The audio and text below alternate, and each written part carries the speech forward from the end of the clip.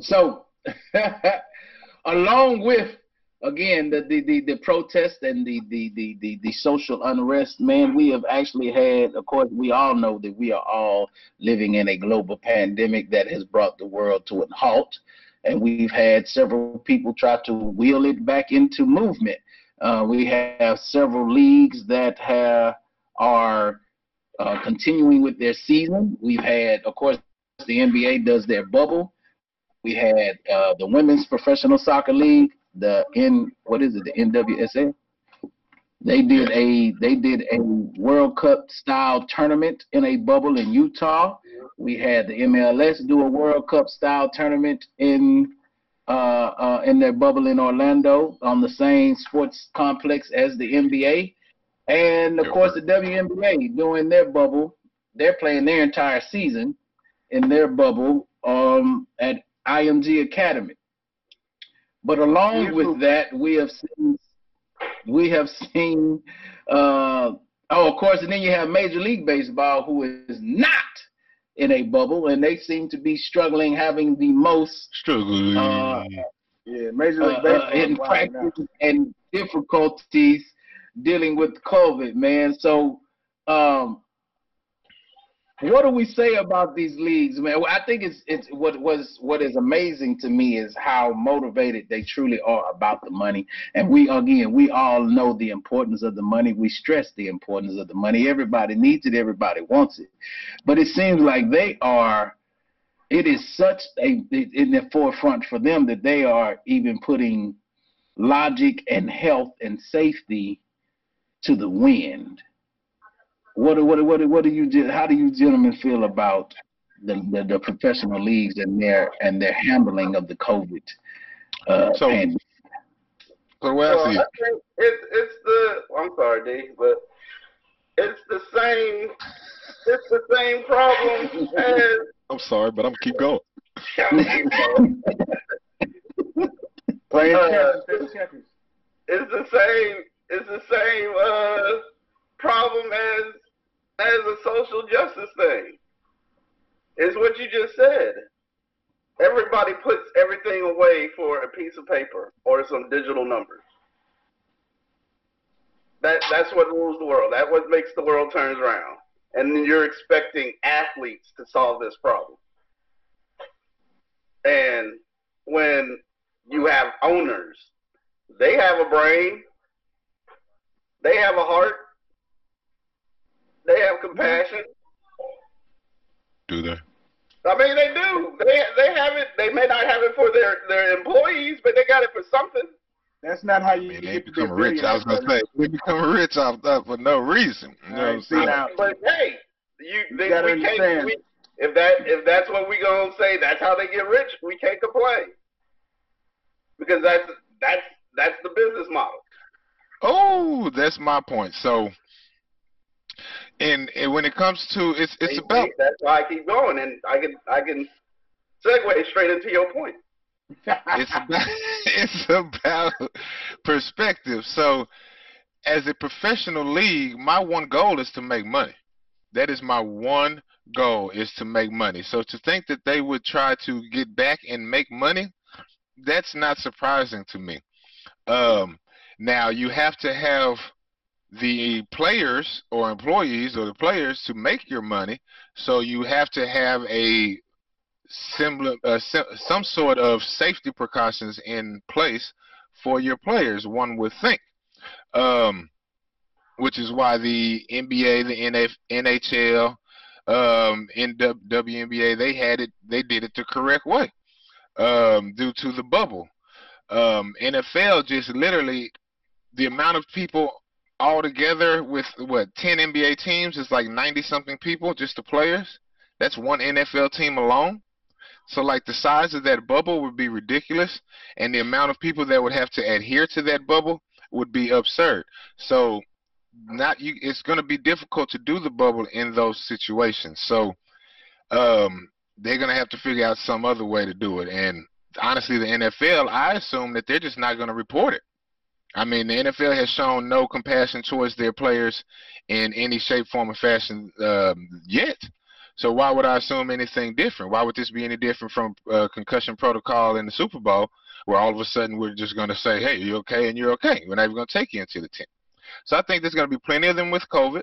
They're going to have to just sit out two weeks, and they're just going to say they're out, hurt, injured, whatever they want to call it, you know. And they're just going to keep moving them on and moving them on until the season's over because they have to make their money. It's not a good situation because, like he was saying, it's not showing the compassion for the players. Um, but it is the situation that I would expect to occur in the America we live in with the professional leagues. But see, but the thing is for me, okay, right now, full disclosure, I'm watching the Community Shield. Okay, that's in case anybody. I was gonna explain that for down, right? No, not, not a lot of uh, people know what the Community Shield is. Soccer competition in England. Right? right. It's a soccer competition in England. It's a preseason game which pits the champion of the FA Cup against the champion of the league. Okay, the, the winner of the English Premier League versus the winner of the English FA Cup Football Association Cup, an open tournament for all teams in England. Anyway, now remember, I remember us sitting at, at, the studio when the funk was really kind of hitting the fan when it got out of China, and we were sitting there discussing Italy and how this stuff was headed over here and how bad the situation was in Italy. Per capita, Italy had a much worse case of COVID than did we. About a month and a half later, you were watching Juventus play AC Milan. You were watching sports go on over there. There's ways to do it and do it safely, but the thing is, the people in our country aren't willing to do the things to mitigate the circumstances. It's not just the pro leagues, it's the people in general. We were watching high school football last night, two packed games. And these are our high school students that we could care less about because everybody thinks, well, this is a hoax or it ain't as bad as you think it is. No, I think so it it's was, the overall attitude of the people. I think it was pretty packed for the Splendor. It's just emblematic of the people in this country. Huh? I think it was pretty packed for the Splendor Chapel Hill game last night too. So what? Really, they played in Texas yeah. last night? Chapel Hill won 65-35. Really? That's like what? Three A ball, two A ball. Yeah.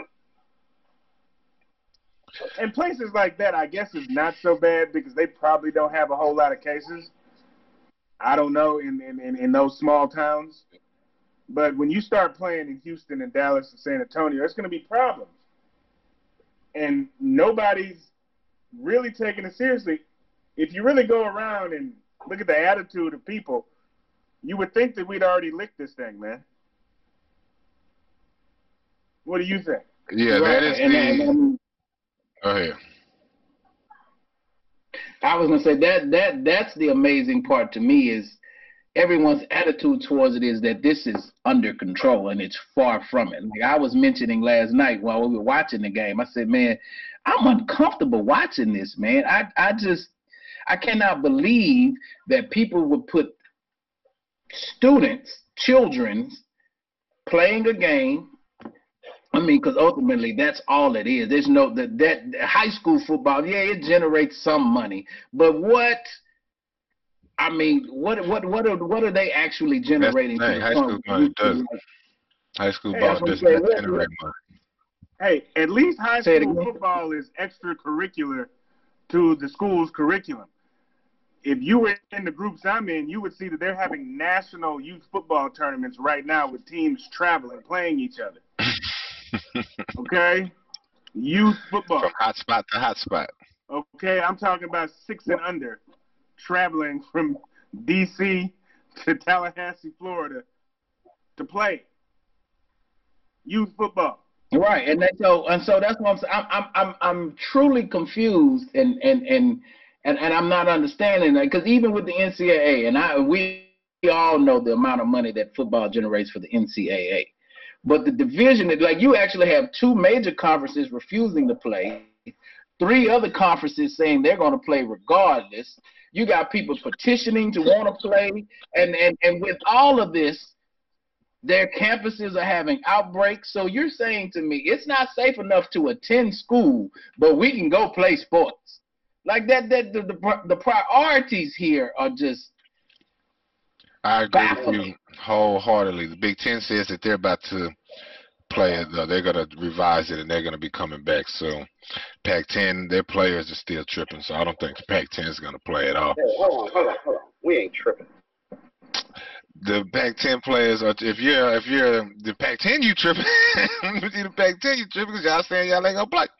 So, but but we said we thing. we uh, we repeated the uh the mantra though. Money makes this this this go round. Yeah, but if everybody else is playing and you all are not playing and the Pac-10 is not playing that's not going to end well for those players. It's not going to end well for those players because their Pac-10 is missing out on a lot of money due to one group of people. It's not going to end well for those players. But that's not why I'm at. I'm at where Dara was saying. That is the country, bro. My, I'm sitting here dealing with the same thing at my house. My wife is a teacher, and – they have no students allowed on campus up until September something. But yet the athletics department is still going. The athletes are coming up to the school in the mornings and are practicing and are lifting weights and are roaming the school and doing things, catching COVID and all.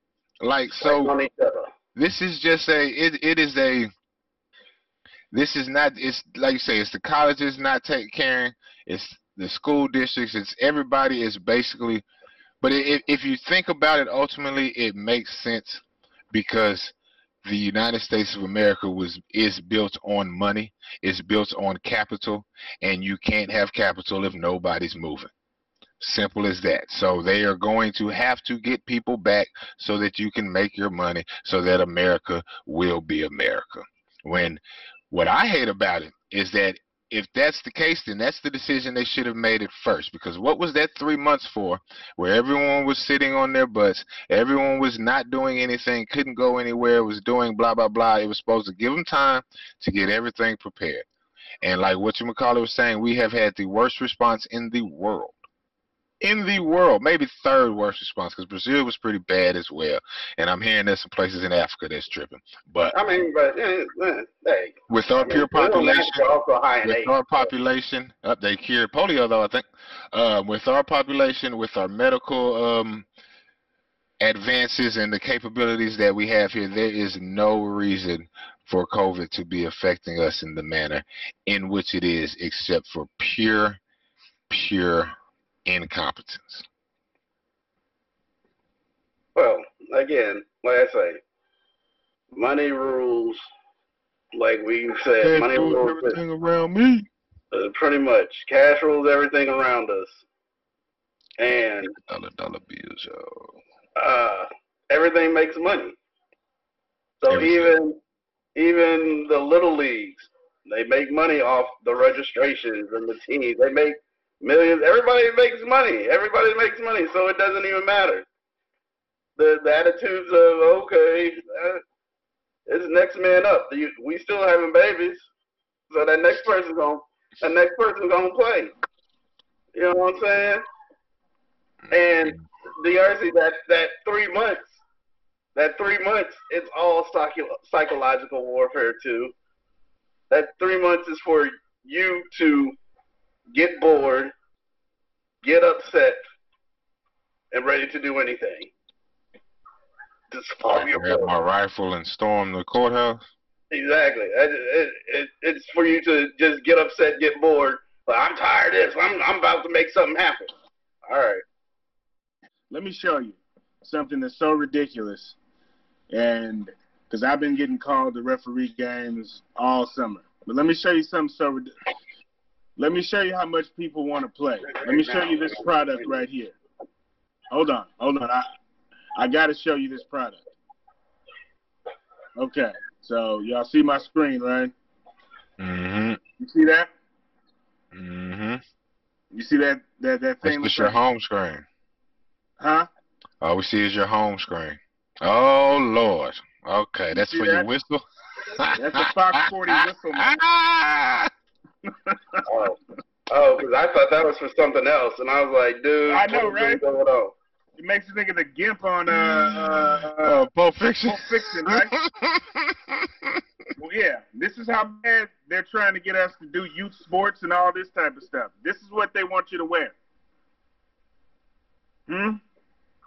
Now, I, explain to me how I can verbally report a foul with that damn thing on. but but yeah, this is where we are, people. And they say it's gonna be here for a while longer. Till this vaccine comes around, but they're about to have a home test for it. They say. They say uh, I heard on NPR we've put over a billion dollars into testing for COVID nineteen, but the United States has put two hundred and fifty million dollars into vaccines. The government, that is, has put only two hundred and fifty million dollars into a vaccine, which would stop the effect of the COVID, but put over a billion dollars into finding out who had it. Well, we all know it's easier to treat. I mean, it's cheaper to treat than. I mean, it's, it's more profitable to treat than to cure. Mm-hmm. And we've seen that with all diseases in in modern times now. Like, how much money have we given to to cancer? And we ain't stopped cancer, even though there's so many. We ain't stopped cancer yet. Yeah. Shout out well, Black see, I think it's more important to develop treatments, like effective treatments, than it is to have a vaccine. That's what we just said. Yeah. Okay. Good. Follow the Garage Apartment on Facebook, Instagram, and Twitter. Video, tweet, photos, videos. Let me shoot some real quick. Follow me on social media. And subscribe to the Garage Apartment Radio on YouTube.